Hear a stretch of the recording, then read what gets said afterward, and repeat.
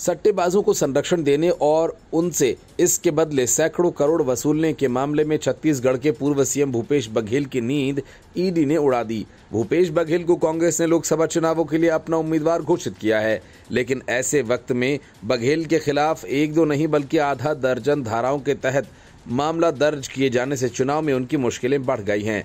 अब बताया जा रहा है कि ईडी के प्रतिवेदन पर एसीबी ईओडब्ल्यू ने भूपेश बघेल के खिलाफ एफआईआर दर्ज कर ली है। पूर्व सीएम के खिलाफ 120 बी चौंतीस, चार सौ चार सौ बीस, चार सौ सड़सठ समेत कई धाराओं में मामला दर्ज होने की बात सामने आ रही है। सोशल मीडिया पर एफआईआर की एक कॉपी भी जमकर वायरल हो रही है। पूर्व मंत्री और बीजेपी विधायक राजेश मूणत ने पूर्व सीएम भूपेश बघेल और कांग्रेस पर निशाना साधा। सोशल मीडिया पर पोस्ट में उन्होंने लिखा कि छत्तीसगढ़ में कांग्रेस के पतन के साथ ही सुशासन लौट आया। कानून भी अपना काम कर रहा है। भगवान का नाम लेकर धोखाधड़ी, आपराधिक साजिश, विश्वासघात और जालसाजी करने वाले बगुला भगतों पर महादेव का प्रकोप बरसना तय है। भूपेश बघेल जी, विधानसभा चुनाव में जनता पहले ही आपको सबक सिखा चुकी है। आगे आगे देखिए, होता है क्या? भूपेश बघेल के खिलाफ रायपुर की इकोनॉमिक ऑफेंस विंग ने सात धाराओं के तहत मामला दर्ज किया है। सूत्रों से मिली जानकारी के मुताबिक रायपुर की आर्थिक अपराध शाखा ने महादेव ऐप मामले में छत्तीसगढ़ के पूर्व सीएम भूपेश बघेल और अन्य के खिलाफ एफआईआर दर्ज की है।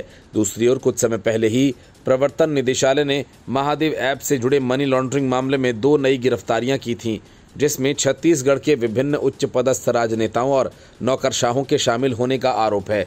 गिरीश तलरेजा और सूरज चोखानी को 2 मार्च और 3 मार्च को हिरासत में लिया गया था। एजेंसी ने एक बयान में कहा था कि एक विशेष धन शोधन निवारण अधिनियम यानी पीएमएलए अदालत ने उन्हें 11 मार्च तक ईडी की हिरासत में भेज दिया है।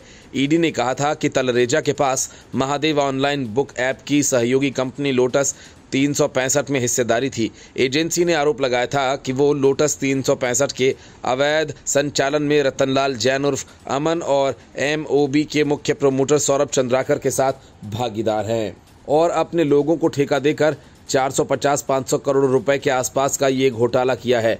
आधिकारिक सूत्रों ने बताया कि प्रवर्तन निदेशालय ने दिल्ली जल बोर्ड में कथित अनियमितताओं से जुड़ी मनी लॉन्ड्रिंग मामले में जाँच मुख्यमंत्री अरविंद केजरीवाल को 18 मार्च को पूछताछ के लिए बुलाया।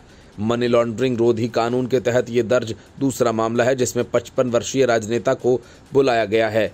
उन्हें दिल्ली उत्पाद शुल्क नीति से जुड़े मनी लॉन्ड्रिंग मामले में भी पूछताछ के लिए नोटिस जारी किया गया है। केजरीवाल इस मामले में अब तक आठ समन को अवैध बताते हुए टाल चुके हैं, जिसके बाद मामला कोर्ट की चौखट पर पहुँचा और केजरीवाल को जमानत मिली थी।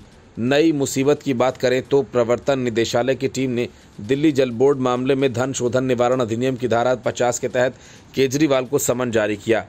ईडी दिल्ली जल बोर्ड में अवैध टेंडरिंग और मनी लॉन्ड्रिंग की जाँच कर रही है।